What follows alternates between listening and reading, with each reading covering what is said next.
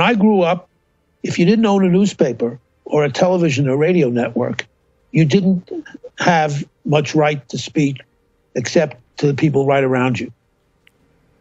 The internet changed all of that. But when more people have the right to speak, more people who say ugly things are going to get to speak. And they're going to get to get bigger audiences, which is what happened.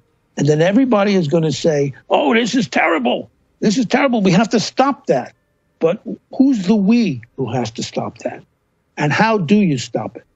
Um, and I think that that's, you know, the ongoing dilemma. Uh, people have always confused the right to speak with the support for the content of what people say.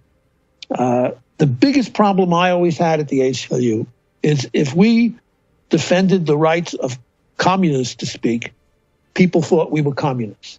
If we defended the rights of racists to speak, people thought we were racists. Um, and that's not the same thing. Somehow, sometime, the people of this country have to understand. It's not an easy thing to learn because, as I said, it's not intuitive.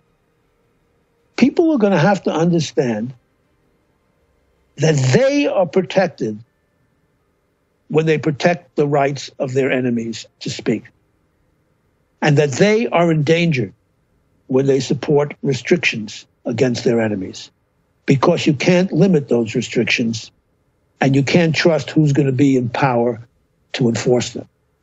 And so the price of our free speech is to be insulted by the ugliness of speech we hate. And there is no way out of that dilemma.